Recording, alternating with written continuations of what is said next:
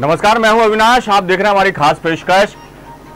मध्य प्रदेश की शिवराज सरकार ने पूर्व पूर्व की कमलनाथ सरकार के कार्यकाल की जाँच का मन बना लिया है। शिवराज सरकार ने गठित की है तीन सदस्यीय समिति। पूर्व सीएम के पिछले छह महीने के कार्यकाल की जाँच के लिए यह समिति बनाई गई है। गृह एवं स्वास्थ्य मंत्री नरोत्तम मिश्रा को इस समिति का अध्यक्ष बनाया गया है और मंत्री तुलसी सिलावट और कमल पटेल भी इस समिति में शामिल हैं। कमलनाथ सरकार के कार्यों की समीक्षा करके ये समिति सरकार को रिपोर्ट देगी। पिछली सरकार ने भी कराई थी शिवराज सरकार के कार्यों की जाँच। लिहाजा अब फिर से एक बार शिवराज सरकार, कमलनाथ सरकार के कार्यकाल की जाँच कराने जा रही ई टेंडर मामले को भी कमलनाथ सरकार ने उठाया था, हम आपको बता दें। मंत्री नरोत्तम मिश्रा के ओएसडी भी उस समय उस जाँच के घेरे में थे। मंत्री नरोत्तम मिश्रा के भाई को भी कुल सचिव पद से हटा दिया गया था। जेयू में कुल सचिव पद पर लंबे समय से पदस्थ थे प्रोफेसर आनंद मिश्रा। पूर्व मंत्री संजय पाठक को भी नाथ सरकार ने घेरा था और उनके रिसोर्ट रिसोर्ट पर तोड़फोड़ की कार्रवाई की गई थी। तो इस तमाम बातों के बाद अब शिवराज सरकार जो है, कमलनाथ सरकार के कार्यकाल की जाँच कराने जा रही है और इस पर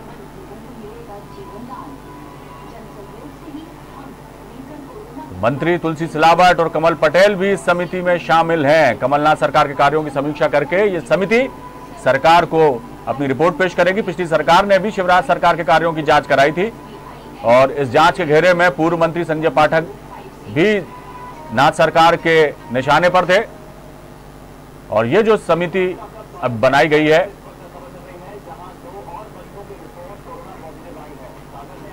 वो कमलनाथ सरकार के कार्यकाल की जाँच करेगी। तो मध्य प्रदेश में बदलापुर पार्ट टू अब दिखाई देने वाला है और इसी पर यह हमारी खास चर्चा आज है और हम सीधे चलते हैं हमारे ग्रुप एडिटर रिजवान अहमद सिद्दीकी जी के पास। रिजवान जी एमपी में बदलापुर पार्ट टू, क्या कहेंगे? बिल्कुल अविनाश ऑडियो आ रहे हैं कई ऑडियो आ रही है। मुझे लगता है किसी की टीवी ऑन है। जी हम हूँ। ये भी हमारे साथ तो अगर उनकी टीवी ऑन है तो वो आ, म्यूट कर दें टीवी की बहुत आवाज़ आ रही है। है, हो रही है पीसीआर थोड़ा इसको ठीक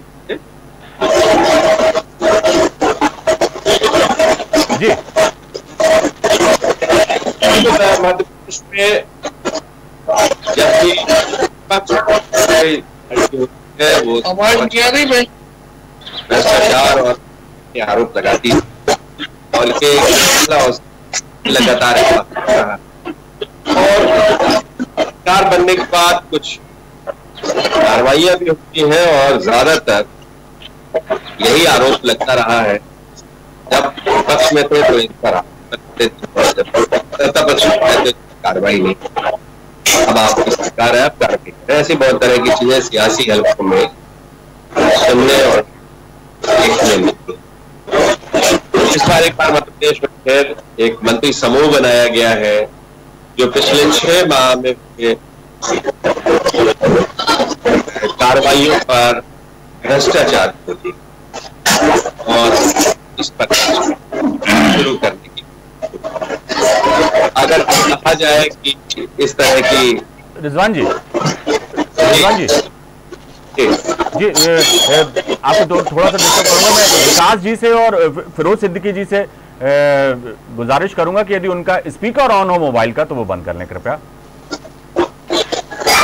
बिल्कुल। कई जगह से कई तरह की आवाज़ें आ रही जी जी वो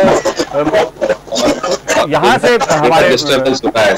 हमारे तरफ़ से यदि वहाँ कहीं टीवी खुला है या मोबाइल का स्पीकर ऑन है?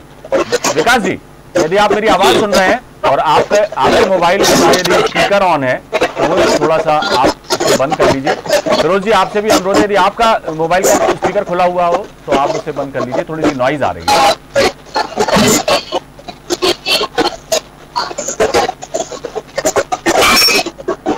चलिए। जी। तो इस तरह की कार्रवाइयाँ और एक बात है मध्य प्रदेश में इस तरह की सुगबुगाहट है इसे कुछ लोग बदलापुर की कार्रवाई की तरह देखते हैं कुछ लोग देखते हैं कि एक रूटीन कार्रवाई है पीछे की सरकार ने तकनीकी आधार पर जो भी काम किए हैं उस पर जाँच किया जाएगा और जो ज़रूरी है वो रहेगा गैर ज़रूरी है हट जाएगा ऐसी की चीज़ें हैं लेकिन अभी एक शुरुआत। ये इत्तेफाक की है कि सरकार बनते ही कांग्रेस की सबसे पहले बीजेपी के जो नेता पर आए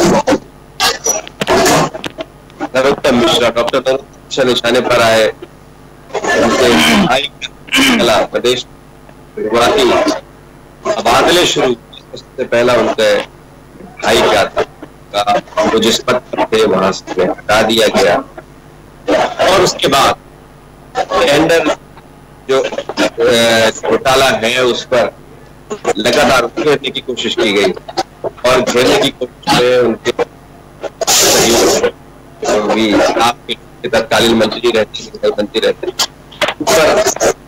उसमें कुछ कुछ और अब इत्तेफाक ये है कि वही डॉक्टर नरोत्तम मिश्रा अध्यक्षता में गई है, जो जाँच करेगी पिछले की सरकार में किस तरह की फिरोज सिद्दीकी क्या कहेंगे आप?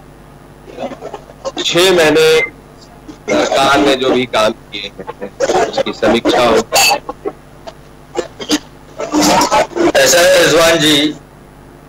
असल मुद्दा तो ये है कि जिस तरीके से कोरोना को लेके मध्य प्रदेश की सरकार, शिवराज सिंह जी की सरकार फेल हो गई लोगों को स्वास्थ्य मुहैया कराने के मामले में फेल हो गई टेस्टिंग के मामले में फेल हो गई, मजदूरों को लाने के मामले में फेल हो गई। और यदि नरोत्तम मिश्रा जी ये कहते कि ये आटा किसने चोरी किया है और हम इसकी भी जाँच करेंगे तो मुझे बड़ी खुशी होती कि उनके गरीबों का लोगों का निमाला जिस, जो सरकार खा सकती है, वो कैसे जाँच करेगी, ये वही समझ सकती है। जहाँ तक इसका सवाल है कि उनने तीन मंत्रियों का जो समूह बनाया है समूह बना के वो जाँच करेंगे तो उसमें वो ये बात भूल गए कि उस सरकार का एक पूर्व पूर्ववर्ती मंत्री जो है अ, अ, हमारे तुलसी सिलावट जी वो इस समिति की इस समिति के सदस्य हैं। तो क्या उनके भी छह महीने के साल भर के कार्यकाल का वो जाँच करेंगी, ये स्पष्ट करना चाहिए भारतीय जनता पार्टी को। भारतीय जनता पार्टी को ये भी स्पष्ट करना चाहिए कि पूर्व का- कार्यकाल में जो खरीदी बिक्री जैसा कि कहा जाता है, आरोप लगे हैं कि ये 22 विधायकों के खरीदी बिक्री हुई है, ये 22 विधायकों ने को खरीदा गया है, उसमें एक वो तुलसी सिलावट जी भी है, क्या इसकी भी जाँच होगी? वो जो 22 लोग गए हैं भारतीय जनता पार्टी में, उन्होंने जिन जिन चीज़ों की अनुशंसा की थी, वो सरकार ने उनकी अनुशंसा पर जो काम किए थे क्या नरोत्तम मिश्रा जी उसकी भी जाँच करेंगे?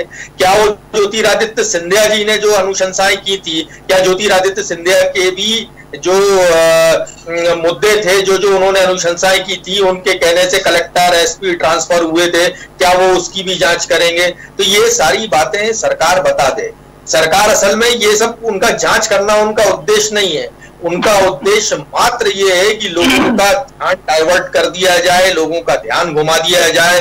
आटा चोरी के इल्ज़ाम लग रहे हैं। ये बस में मजदूरों को जो लाए, जैसे फर्जी बिल पहले पुरानी सरकार में लगे हैं हमारे पास ज़्यादा समय नहीं था अन्यथा हम उसकी भी जाँच करवा देते। वो वो फर्जी बिल लग रहे हैं और ये कोरोना को लेके किसको कोरोना हो रहा है किसको नहीं हो रहा है जो अस्पतालों को भुगतान किया जा रहा है आज तक एक भी डेडिकेटेड कोरोना का हॉस्पिटल नहीं बनाया गया है। तो वो इन सब चीज़ों की क्या वो सब जाँच करने के लिए तैयार है? आप भारतीय जनता पार्टी से मैं सवाल चाहे जवाब चाहता हूँ कि वो मैंने इतने सारे मुद्दे उठाए और वो कमर कस के तैयार हो जाए। तो कांग्रेस पार्टी भी तैयार है। आपके दो महीने में हम इतने घोटाले निकाल देंगे कि जितने आपकी, आपसे गिनते नहीं बनेंगे और आप उन घोटालों की जाँच कराने में अगर सक्षम है तो हम तो तैयार हैं, बिल्कुल तैयार है। कांग्रेस पार्टी स्वागत करती है। हम तो साथ में ये भी कहते हैं कि हमने किसानों की कर्जा माफ़ी की आप उसकी भी जाँच कराइए। हमने सौ रुपए में बिजली दी आप उसकी भी जाँच कराइए। हमने युद्ध पे युद्ध चलाया आप उसकी भी जाँच कराइए। फिरोज सिद्दीकी फिरोज सिद्दीकी मैं आपके बाद एक बार फिर लौटू देखिए रिजवान भाई। क्या कहेंगे विकास भदौरिया? जी। नहीं मैं यही कहूँगा पहली बात मुझे जो ध्यान आ रही है फिरोज जी को पूरा सुन के कि चोर की दाढ़ी में तिनका। देखिए, सरकार ने क्या निर्णय लिया? सरकार ने निर्णय लिया कि छह महीने में जो काम किए गए हैं, उसकी समीक्षा करेंगे। उस पे गौर करते हुए उस पर विचार करेंगे। अब उसमें जो अनियमितताएँ होंगी, उसमें उस ढंग से रूबरू हुआ जाएगा। जो अन्य नीतिगत निर्णय लिए हैं, उनमें क्या करना है, क्या सुधार की गुंजाइश है, किनको बदलना है, वैसा निर्णय लिया जाएगा। लेकिन फिरोज भाई और उनकी पार्टी बहुत जल्दी, वो कहते हैं ना जंपिंग टू कंक्लूजन जा रही है। यकीनन, बहुत सारी गड़बड़े हुई है, इसलिए घबरा रहे होंगे फिरोज भाई। हमने तो अभी उस इशारा नहीं किया था। अभी हमने तो इशारा नहीं किया था। हम तो एक मैं, मैं दो दिन पहले दो दिन मैं मैं आपको रोक रहा हूँ बीच में। दो चार हाँ। दिन पहले उनका नरोत्तम मिश्रा जी का स्पष्ट बयान आ चुका है। और आज भी बदलापुर जो है वो टॉपिक है। बदलापुरी टॉपिक है। आप देखिए तो आप आपको क्या कनेक्ट नहीं हो पाए थे क्या? आप बदलापुरी टॉपिक है मैं उस पे जवाब दे रहा हूँ। रिजवान भाई सब कुछ टॉपिक रख सकते हैं। रिजवान भाई पत्रकारिता करते वक्त में स्वतंत्र विचार विमर्श को खड़ा है, हूँ। कर सकते अरे मैं क्या कह रहा हूँ? मैं क्या कह रहा हूँ? मैंने कहा ना जो अनियमितताएँ होंगी एक- हुई होंगी बदरिया एक मिनट रुक जाइए। फिरोज सिद्दीकी अगर आप हमारे इस प्रोग्राम के नाम से सहमत हैं तो शुरुआत आपसे ही है। नरोत्तम मिश्रा को जिस तरह से करने की कोशिश की गई उनके भाई को जिस तरह से हटाया गया उनके ओएसडी पर जिस तरह से कार्रवाई की गई जेल भेजा गया क्या ये सब बदलापुर था? देखिए आपसे ई टेंडरिंग हाँ ई टेंडरिंग की जाँच जो है जो वर्तमान में आज की तारीख में सीएम सेक्रेटरी हैं उन्होंने दी थी। और उस वो जाँच जो है सरकार के पास लंबित थी उसको आगे बढ़ाया था। हमने। किसी का अगर रूटीन ट्रांसफ़र किए हैं तो बहुत सारे लोगों के रूटीन रूटीन ट्रांसफ़र किए बहुत सारे लोग हैं भारतीय जनता पार्टी में। किसी का तबादला कर देना तो बदलापुर नहीं होता। मैं तो नहीं मानता कि तबादला कर देना। मैं इस पर समझता हूँ। इस पर समझता हूँ। आपकी राय भी दूँगा। समझता हूँ। अपनी राय लेकिन विकास बदरिया क्या कहेंगे आप इस देखिए फिरोज भाई अब आप कह रहे हो बदलापुर था या नहीं था? मैं तो शुरू से ही कह रहा हूँ ना। कांग्रेस की सरकार थी, कमलनाथ जी की कैबिनेट ने जो निर्णय लिए, उनकी सरकार ने जो काम किए, नीतिगत हो या प्रशासनिक हो उसकी विवेचना ये सरकार की ये समिति निकालेगी करेगी इसमें आपको क्या दिक्कत है? भाई हर सरकार में नीतिगत निर्णय लिए जाते हैं। क्यों आप मेरा- फिक्रमंद मेरा एक प्रश्न- बीच में मत बोलिए। फिरोज फिरोज बीच में मत बोलिए। ये बात ज़रूर है। उनको अपनी बात कहने नहीं दिए फिर आप फिर मौका दूँ। ये बात ज़रूर है फिरोज भाई कि जिन अनियमितताओं के कारण आपकी पार्टी में बोखलाहट दिख रही है, अगर वैसा है तो उसके ऊपर भी यकीनन उसी ढंग से विचार होगा, जिससे पार्टी, कांग्रेस पार्टी भयभीत हो रही है। अगर गलत किया है तो भयभीत होना ही चाहिए। देखिए, मुझे लगता है रिजवान भाई, कि कांग्रेस की बहुत सारी नीतियों का हम विरोध कर रहे थे। उसके ऊपर कैसे आगे काम करना, ये विचारणी बिंदु होगा। कांग्रेस की सरकार ने जो अनियमितताएँ इनके कार्यकाल में हुई होंगी यकीनन उसके ऊपर भी विचार होगा और उसके ऊपर भी ये समिति गौर करेगी ही करेगी। रिजवान भाई बिल्कुल और वो वो जिस तरह से मैंने उनसे सवाल किया था हाँ, कि हाँ। क्या एक कार्रवाई बदलापुर की है? जो नरोत्तम डॉक्टर नरोत्तम मिश्रा उनका स्टाफ और उन्हें जो घेरने की सारी कोशिशें की गई। तो उस पर कुछ कहना चाहेंगे? उनका जो जवाब था। नहीं मैं मैं मैं- मैं- बिल्कुल देखिए देखिए वाला एक मामला था। ये इन्होंने जो चुनाव लड़ा था उसमें इन्होंने क्या एजेंडा फिक्स किया था? कि भारतीय जनता पार्टी के कार्यकाल के कामों के लिए हम एक आयोग बनाएँगे जाँच आयोग बनाएँगे ये नहीं बना पाए। पंद्रह महीने तो रहे ना काम करते रहे फिरोज भाई बहुत समय होता है पंद्रह महीने का काम करने के लिए। और आपके चुनावी एजेंडों पे आप कितना काम करते रहे? खास करके जो बात अभी रिजवान भाई रख रहे हैं कि बदलापुर जैसा काम आपने किया और हमने कहा भी, आपने बदला लेने के काम किए। जो अधिकारी भारतीय जनता पार्टी की सरकार में जो जहाँ काम कर रहे थे, उन्हें वहाँ से आपने प्रताड़न स्वरूप बदली किया। प्रताड़न स्वरूप। देखिए, सरकारी मशीनरी में आपकी इच्छा से आप जब सरकार में हैं तो बिल्कुल व्यक्तियों को, अधिकारियों को पदस्थ कर सकते हैं, जिनसे आपकी ट्यूनिंग जमती हो, जिनको आपको, जिनका ज्ञान ज़्यादा लगता हो। लेकिन आपका प्रताड़ना स्वरूप काम हो रहा था। प्रताड़ना बात प्रताड़ना बताइए तो क्यों क्यों प्रताड़ना क्यों? कैसी कर रहे थे? कहते थे आपकी भारतीय जनता पार्टी में बेहतर पदों पे बेहतर जवाबदारी के पदों पे बैठे लोग हैं इसलिए इन्हें हटाया जा रहा है। आप कहते थे साहब। कैमरे पे आके आप कहते थे ये बात। हम क्या कहें? आप कहते थे। देखिए दूसरी बात रिजवान भाई जो आपने कहा नरोत्तम मिश्रा जी को अन्य हमारे रहे मंत्रियों को इन्होंने घेरने का बहुत प्रयास इस ढंग से किया। कोई आयोग नहीं बनाया कि विधिवत ढंग से काम कर रहे हो। हाँ लेकिन जबरिया ढंग से घेरने का प्रयास किया उसमें हमने कई इंसिडेंट देखे भी। अ, जैसे रीवा का इंसिडेंट हुआ थे। नरोत्तम जी के स्टाफ के साथ में वो तो ठीक है। और जो जाँच की बात आप कर रहे हैं वो तो हमारी सरकार ने ही मंजूर करी थी और जाँच जारी करी थी टेंडर ई टेंडर वाले मामले में। उसमें तो आगे बढ़ना ही चाहिए था लेकिन आप कहा ईमानदारी से आगे बढ़े? आप तो केवल भारतीय जनता पार्टी की घेराघारी के दृष्टिकोण से उसमें प्रयास कर बटोरने का काम करने का प्रयास करते रहे। और जहाँ आग जली थी वहाँ नहीं बदरिया जब उसमें धुआँ था नहीं तो आपने जाँच शुरू क्यों और जिस अफसर ने ये उजागर किया तो सरकार के सबसे चहेते अफसरों में से एक है आज की तारीख में पोस्ट लीव पे भेजा उनको। नहीं नहीं ऐसा फोर्स लीव वाला मामला नहीं था। लीव पे वो गए थे ये पे भेजा नहीं नहीं देखिए मैं बात जो बता रहा हूँ। सीएम साहब ने तब भी कहा कि जब उनके सामने ये मामला लाया गया तो उन्होंने जाँच के लिए आदेशित किया। और उसके लिए एजेंसीज भी डिप्लॉय की गई। जहाँ तक विषय धुआँ उठने का नहीं देखिए धुआँ बुनना इन्होंने प्रयास किया। जहाँ आग नहीं थी जहाँ चिंगारी नहीं थी वहाँ पे इन्हों उस तरह का इन्होंने धुआँ बुनना। अरे जहाँ असल आग थी जहाँ असल गलतियाँ हुई थी अनियमितता हुई थी उस तरफ़ तो इनकी सरकार ने ध्यान नहीं दिया नहीं तो पंद्रह महीने में काफ़ी कुछ मामला उजागर हो जाता सही स्थिति का। अब लेकिन हम करेंगे उस मामले तो करवा दीजिए सर। आप हैं-। आप विकास विकास मैं लौटूँगा मैं लौटूँगा आपका। सिद्दीकी क्या कहेंगे आप? देखिए स्पष्ट बात है कि भारतीय जनता पार्टी सिर्फ़ ध्यान मोड़ने का ये काम है। एक भी बात का मेरा जवाब नहीं दे पाए। मैंने कहा कि सिंधिया जी ने जो अनुशंसाएँ की उसकी जाँच करेंगे। कह दे वो भारतीय जनता पार्टी में है ये साहस कहने का। ये साहस है कहने का भारतीय जनता पार्टी में कि जो 22 लोग छोड़ के गए अरे सुनिए तो और फिरोज वो कुछ कह रहे हैं। और अगर साफ़ होती। फिरोज हाँ, सिद्दीकी वो कुछ कह रहे हैं। क्या कह रहे हैं विकास बदरिया? बड़ी स्पष्टता से कह रहा हूँ जो भी अनियमितताएँ इनकी सरकार में हुई या होंगी उनको पलटा जाएगा। चलिए। बताइए आप आप बताइए ना आप रखिए बातें। हाँ चलिए, और- बताइए और- फिरोज।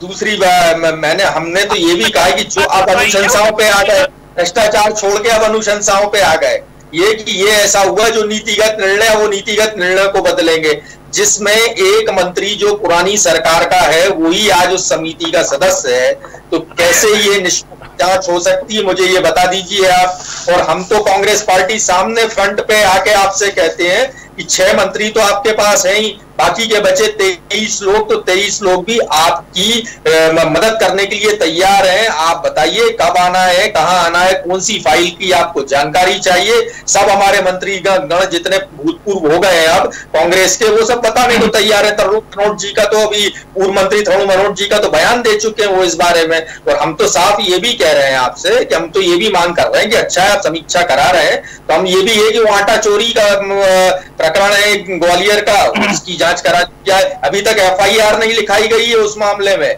लोगों ने तोल के दिखा दिया लेकिन एफआईआर नहीं लिखाने गई। अब आप भारतीय जनता पार्टी को ऐसा लगता है कि दस किलो को तो साढ़े आठ किलो आटा आता है। तो अब ये मैं मैं इसमें कुछ नहीं कर सकता। फिरोज सिद्दीकी।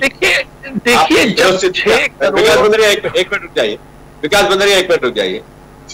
फिरोज सिद्दीकी आप कह रहे थे कि ई टेंडरिंग वाला जो मामला है उस पर आप कार्रवाई कर रहे थे। लेकिन आप कार्रवाई करते नहीं दिखे इसलिए कि ई टेंडरिंग का टेम्परिंग कोई मंत्री नहीं करता या मंत्री का स्टाफ नहीं करता। ऐसी चीज़ें मंत्री का स्टाफ शामिल हो सकता है उसकी संभावना है। लेकिन उसके लिए तो बाकायदा टेक्निकल लोग और बहुत तरह के लोग वो लोग जो इस तरह की चीज़ों में वो विभागीय अधिकारी जो इस तरह की ई टेंडर में शामिल इस प्रक्रिया में शामिल रहे हैं वो लोग कर सकते हैं। उन्हें नहीं घेरा। आपने मंत्री के स्टाफ तक चीज़ों को सीमित रखा। आपको ये नहीं लग दूसरा आप कह रहे हैं कि ट्रांसफ़र एक रूटीन चीज़ है। पहला ही ट्रांसफ़र। सरकार की शुरुआत का ही ट्रांसफ़र। पिछली सरकार के मंत्री कम से कम राजनीतिक सौजन्यता होती है। इस सरकार ने भी नहीं बरती राजनीतिक सौजन्यता।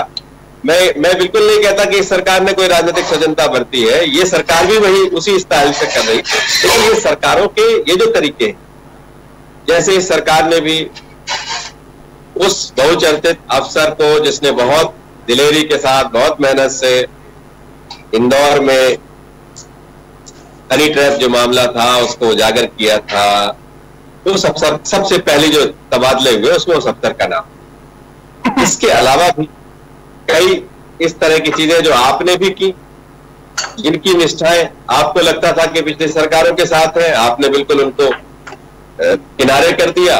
वही अभी भी तबादलों का वही सिलसिला तो तबादले अपनी जगह है, लेकिन जो आपने वादा किया था, जिसका विकास भी अभी ज़िक्र कर रहे थे, आपने वादा किया था कि आप बाकायदा इसके लिए एक जाँच बैठाएँगे बड़ी जाँच कमेटी करेंगे। व्यापम व्यापम आप बहुत बात करते रहे व्यापम की बात करते रहे। इसके अलावा अन्य बहुत तरह के घोटालों की आप बात करते रहे। आपने किया क्या इस डेढ़ साल की सरकार? चलिए मैं बिल्कुल बता देता हूँ देखिए अगर हम राजनीतिक बदले की भावना से कार्रवाई करते तो कई इनके मंत्रियों को भेजा जा सकता एफ़ आई आर भेजी सकती अरे सुन तो लीजिए अब आप मतलब आपने जनता के साथ में जनता के साथ में बेईमानी करी। वो तो आप आपके आपकी तो मास्टरी के घोटालों में मुझे पता है। 1200 कंप्लेन जो थी वो पेंडिंग थी एसआईटी के पास व्यापम की जिसमें से 189 जो है ऐसी पाई गई जिन पर जिनको संज्ञान में लेके जाँच किया जाना चाहिए। क्या एसआईटी ने नोटिस इश्यू नहीं किए 189 के खिलाफ? किए उसकी जाँच की फ़ाइल खोली, सिंहस्थ की फ़ाइल नहीं मिल रही थी पूरी। पूरे मंत्रालय में ये आप ही लोगों की चलाई हुई खबर है कि सिंहस्थ के घोटाले की फ़ाइल नहीं मिल रही थी, उस फ़ाइल को ढूंढवाया और उसकी जाँच शुरू की। आप देखिए, नोटशीट है उनकी जो नर्मदा का पौधारोपण घोटाला था, उस पर नोटशीट लिखी गई, पूरी बाकायदा एक एक और मंत्री ने उस पर जाँच बिठाई, क्या ये सही नहीं है? ई टेंडरिंग के घोटाले में भी ईओडब्ल्यू के सुप्रति ये केस किया था। ईओडब्ल्यू कोई सरकार के कंट्रोल में नहीं होता। ईओडब्ल्यू ने जिन चीज़ को जैसे समझा कार्रवाई या ये वृक्षारोपण का मामला हो। दोनों मंत्रियों ने विधानसभा में तो एक तरह से क्लीन चिट दे दी थी। बिल्कुल क्लीन चिट कहीं नहीं दी थी। हमने मंदसौर में मंदसौर मंदसौर की घटना की तो जाँच पुलिस करके लाई थी। जिसमें हमने तो ये माना था कि ये ये घटना जो है ये ये जो है घटना इस ये ये है ना सरकार के इशारे पर ही किसानों को गोली मारी गई है।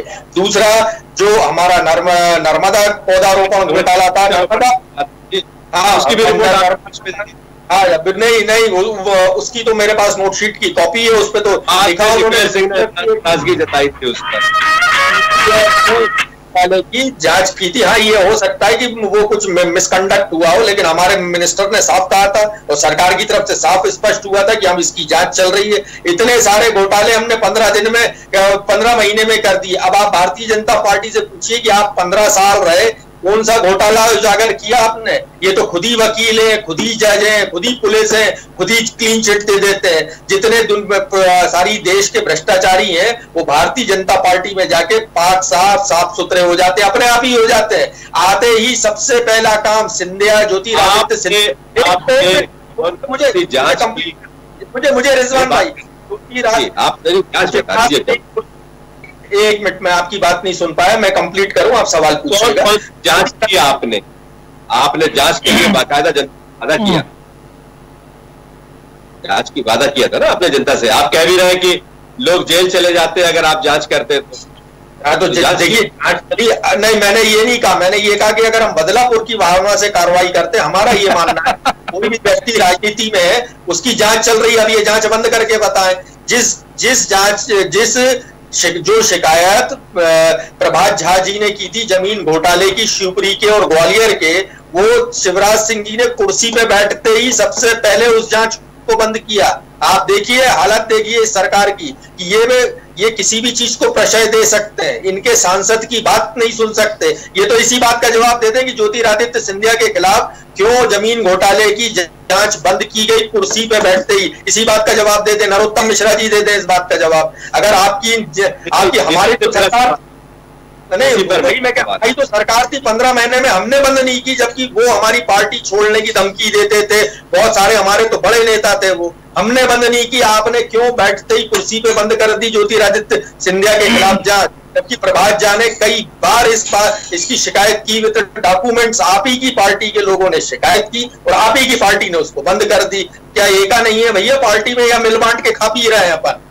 जवाब दीजिए। ये फ़ाइल ये फ़ाइल आपने अपनी जाती हुई सरकार के आखिरी दौर में रीओपन कराई नोटिस इशू कराए।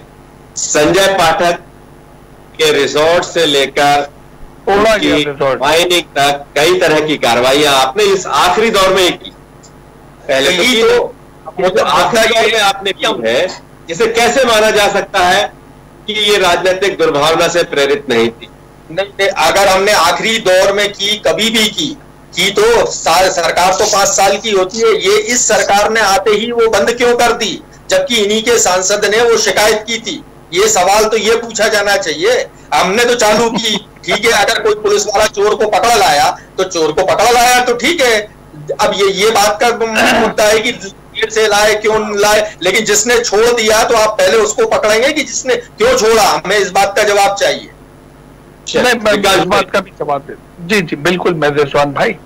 देखिए आपने मेरी तरफ़ से बहुत सारी बातें जो मैं रखना चाहता था पूर्व में ही रख दी कि इन्होंने चुनावी एजेंडे में घोषणा की कि जाँच आयोग बिठाएँगे। अब कह रहे हैं कि राजनीतिक सौजन्यतावश हमने ऐसा कोई काम नहीं किया कि भारतीय जनता पार्टी के नेताओं को कोई हानि हो। अरे साहब क्या जनता को धोखा दे रहे थे आप क्या जनता को धोखा दे रहे थे? कुछ कहना चाह रहे हैं। कुछ कहना चाह रहे हैं। अगर हम बदलापुर की कार्रवाई करते तो एक ही दिन में पहले ही दिन इनके नेताओं को जेल भेज सकते थे। हमने उसको जाँच में डाला और कहा यह भी कि जब तक पुख्ता एविडेंस ना हो किसी के खिलाफ कार्रवाई न की जाए। और जो जो पुख्ता एविडेंस जिन जिन के खिलाफ आए उनके खिलाफ कार्रवाई हुई है उसमें क्या शक है? हम तो हम तो आज भी कहते हैं कि अब हम दोबारा लौटेंगे अभी जो उपचुनाव हो तो जाने दीजिए हम ये ये काम फिर करके दिखाएँगे आपको।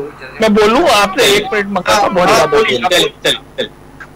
इसका मतलब है अगली बार आप जब चुनाव में जाएँगे तो आपका चुनावी एजेंडा ये होगा कि हम भारतीय जनता पार्टी सरकार में अगर आ गए तो भारतीय जनता पार्टी के नेताओं को पहले दिन जेल के अंदर करेंगे। आप ये चुनावी एजेंडा लेके ये लोकतांत्रिक परंपरा है ये लोकतंत्र सोच है आपकी। ये प्रशासनिक मुझे बड़ा हैरत बड़ी हैरत इस ढंग से आप राजनीति करते हैं। अरे आप तो ये बताइए ज्योतिरादित्य सिंधिया की मैं तो दो दो चीज़ें पूछ रहा हूँ। मैं मैं मैं आपके ऊपर तो अभी ऑफेंडिंग हो ही नहीं रहा हूँ। मैं अभी आपके ऊपर कोई आक्रमक रवैया अपना ही नहीं रहा हूँ। हमें सरकार चलाना है। मैंने पहली बार में कहा आपने क्या छह महीने में कामकाज किया? उसकी समीक्षा की जाएगी। मैंने कभी नहीं कहा कि अनियमितताओं पे हम आपसे बदलापुर के रूप में कार्रवाई कोई चाहते अरे, कोई अनियमितता होगी तो प्रशासनिक रूप से उसके ऊपर भी कार्रवाई होगी। ये एक ज़रूर बात हो सकती है। दूसरी बात आप बार बार आपको लग रहा है कि जो राजनीतिक ताकत भारतीय जनता पार्टी में जुड़ी है, अब उसको बार बार सिंधिया जी के नाम को लेके आप बार बार एक टूटन कहीं राजनीतिक विरोधियों में, प्रतिपक्षियों, अपने प्रतिपक्षियों में टूटन पैदा करने का प्रयास कर रहे फिरोज भाई, देखिए, बड़ी स्पष्टता से। जो हमारे पास सूचनाएँ आती है, उस आधार पे हम राजनीतिक आरोप भी लगाते हैं, शिकायतें भी करते हैं। इसके बाद में उसके ऊपर प्रशासनिक जांचें होती हैं, कार्रवाइयाँ होती हैं, कोर्ट तक भी मामले कई बार जाते हैं, और ये पूरी जो प्रक्रिया है, इसके तहत जो नतीजे निकलते हैं, उससे हम संतुष्ट भी होना जानते हैं। ऐसा नहीं। है आप विकास बंदरिया इसका मतलब ये है विकास बंदरिया इसका मतलब ये है। आप जैसे ही जैसे ही आपने मुख्यमंत्री पद की शपथ ली हम्म। और उसके बाद तत्काल आपको लगा कि अब सिंधिया बेदाग है उन पर आप इतने लंबे समय से जो आरोप लगा रहे थे वो आरोप समाप्त हो गए स्वमेव समाप्त हो गए। इसलिए कि वो अब आपके साथ है। देखिए देखिए और आप- भाई आपने जो- नहीं नहीं नहीं आपने आपने पहले क्या बात सरकार गिरा दी और आपने वो फ़ाइल बंद कर दी। नहीं नहीं हमने फ़ाइल का बंद वो कैसे बंद नहीं की आप सुनिए तो बचा आप- ही। कर दिया आपने जिसने वो फ़ाइल खोली। तो फिरोज भाई जिस जिस मामलों के लिए आप आज इतने उछल रहे हैं इतने आक्रोशित महसूस कर रहे हैं भाई आप आप आपकी सरकार में थे? तब क्यों नहीं काम करते रहे? आपने तब भी जाँच कराई थी जाँच के ऊपर काम तो अरे तो किया। हमारे नेता के खिलाफ जाँच। आज आज आपने बंद करके पूरे एजेंसियों के हाथ काट दिए। आपने ये साबित कर दिया रहे थे। फिरोज सिद्दीकी उन्हें अपनी बात तो जी ना। ये ये रिजवान भाई क्या आपको याद दिलाया? कि आपकी सरकार के अंतिम एक माह में, अंतिम पखवाड़े में उस केस को रिओपन किया गया था। रिओपन कब होता है जब केस? जब एक बार वो क्लोज हो चुका हो। क्लोज कब हुआ था? आपके कार्यकाल के चौदह महीने में हुआ था और तब भी आपने तर्क दिए थे कि इसमें कोई पूरी जाँच करा के आपने तर्क रखे थे, पब्लिकली तर्क रखे थे आपने। समझे ना आप? तो मैं जो निवेदन कर रहा हूँ कि जो दुर्भावनावश रीओपनिंग की बात थी वो वापस अधिकारी जाँच अधिकारियों तक गई है और जो वहाँ से विवेचना आई है उस आधार के ऊपर प्रशासनिक रूप से काम हुआ आपने तो जाँच अधिकारी को हटा दिया विकास आपने तो आनंद फानंद में उस जाँच अधिकारी को भी हटा दिया फ़ाइल बंद करा बहुत जल्दी की आपसे साइन करवा लिए। पदेन अधिकारी पदेन अधिकारी कहीं का डीएम हो कहीं का एडीएम हो अन्य अधिकारी हो वो अपने कार्य अपने। अपने पद पे रह के उस पद के तहत जो जांचें आती है उनको करता है। लोगों ट्रांसफ़र करने का मायने ये नहीं होता है। कुछ दिन पहले ही कुछ दिन पहले ही पदस्थ किया गया अफसर बहुत जल्दी आपने बदल दिया। लेकिन ये राजनीति है। बहुत ढेर सारे सवाल है। अब आजकल ये बात स्पष्ट हो गई। जी के मामले में प्रभात झा जी जो थे वो उन्होंने गलत कंप्लेन की। ये भारतीय जनता पार्टी मानती है। शिवराज जी की सरकार दोबारा आई है सरकार बनाने बदले गए तो इसमें क्या मायने हैं? आपसे अंतिम प्रतिक्रिया इस पर चाहूँगा विकास भाई हम्म, क्या लगता है कितने दिनों में ये जाँच पूरी हो जाएगी? और इस जाँच के बाद हम्म। क्या लगता है कुछ एफ़ आई आर दर्ज होगी मध्य प्रदेश में कुछ शिकायतें कुछ अन्य तरह की चीज़ें होंगी और पिछली सरकार के बहुत ढेर सारे निर्णय उलट देंगे। ये क्या लगता है इस इस और दूसरी एक एक बात सवाल मेरा मेरा आपसे और है कि पहले सवाल यही खड़े हुए थे कि सरकार अल्पमत में थी हम्म। और अल्पमत में जब सरकार थी तो उसने जो निर्णय लिए हैं उसकी समीक्षा की जानी चाहिए। बिल्कुल। तो अल्पमत में अगर आपके हिसाब से वैसे तकनीकी आधार पर तो सरकार अल्पमत में तभी मानी जाती है जब विधानसभा में वो अपना बहुमत साबित नहीं कर पाते। लेकिन अगर आपके हिसाब से ही मान लें कि वो जो मंत्री और विधायक आपके साथ हो गए जिस समय उस समय से ही हम मान लें तो ये तकरीबन एक महीने का कार्यकाल उसमें दो या तीन कैबिनेट की बैठकें हुई थी। रिलायंस को फ़ायदा पहुँचाया गया था, कुछ इस तरह की चीज़ें हुई थी।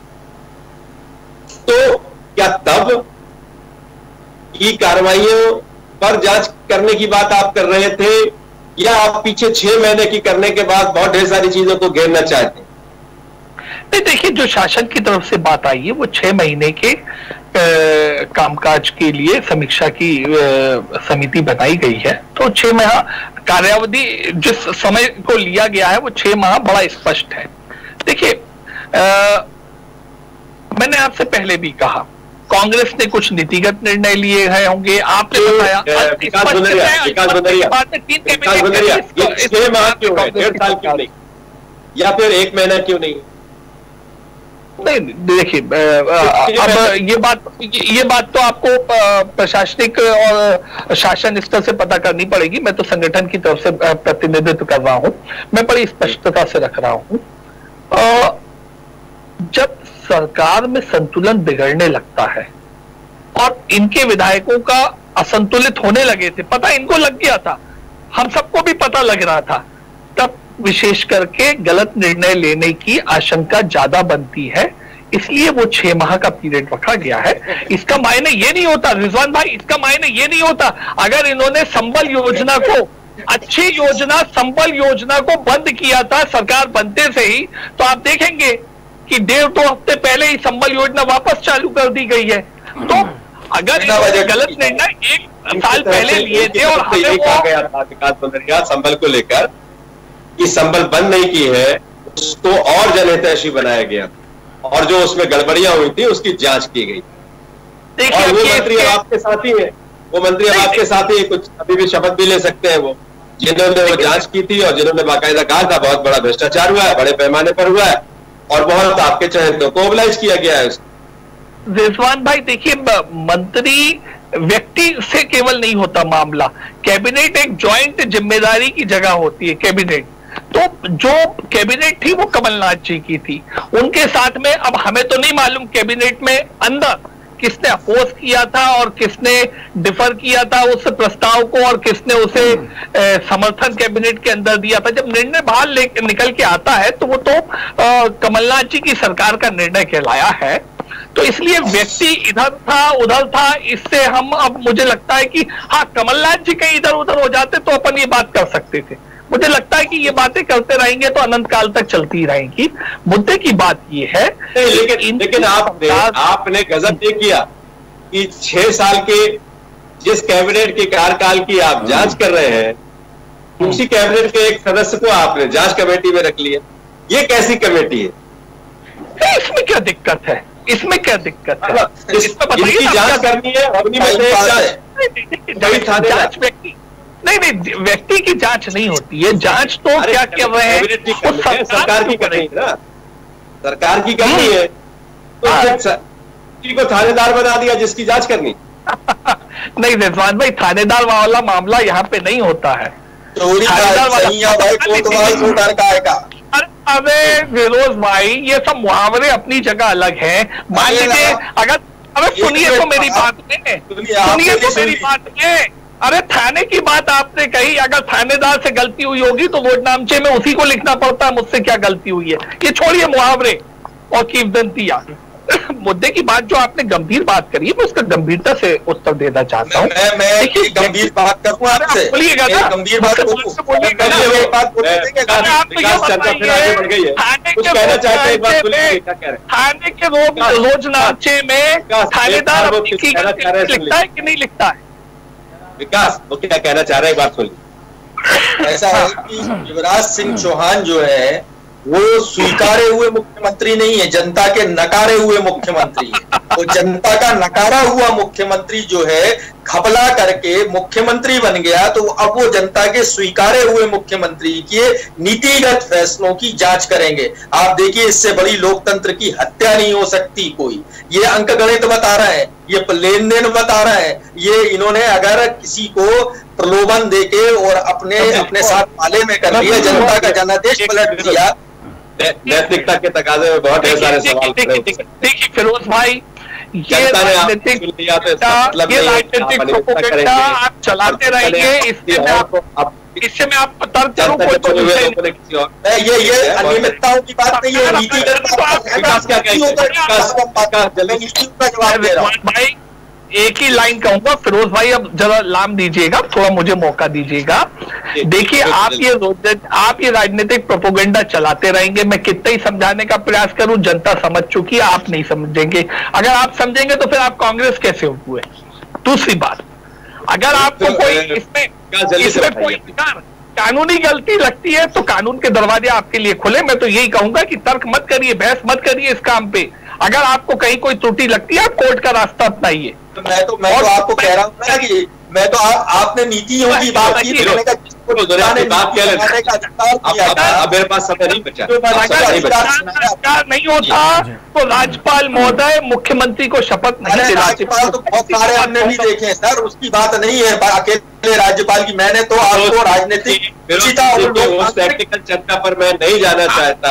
उसके लिए तो सुप्रीम कोर्ट भी आदेश है। गए थे आप। ये गए थे ये गए थे। इन्हें वापस लौटाया गया। यही कहना है कि मूल क्या था? मूल क्या है?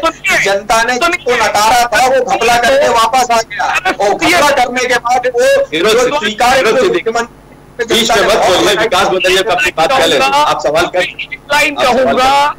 सुप्रीम कोर्ट के ऑर्डर के कम तहत बचा मार्च को विधानसभा की बैठक हुई थी। वहाँ क्या प्रस्ताव आया था? उस प्रस्ताव के ऊपर पूरी कांग्रेस क्यों एबसेंट हुई? इसके बाद क्या इस विषय पे चर्चा कराते रहेंगे? क्या क्या ये हल्के पन विकास विकास मैं उस विषय पर जाना नहीं चाहता मैं बोल चुका हूँ ये बात।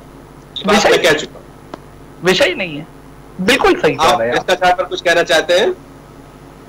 विकास? जो भी अगर उसमें अनियमितता अनियमित काम हुए होंगे तो उसके ऊपर भी ये सरकार अग्रिम कार्रवाइयाँ नियमानुसार करेगी करेगी। इस मामले में कोई बस टाइमिंग पर सवाल है। टाइमिंग पर सवाल है कि छह महीने ही क्यों? एक महीना क्यों नहीं? डेढ़ साल क्यों नहीं? देखिए पीछे भी क्यों? सवाल बहुत ढेर सारे हैं बहुत सी चीज़ें हैं। अब मेरे पास वक्त नहीं है अब मेरे पास वक्त नहीं है। अब इजाज़त दीजिए अविनाश। जी।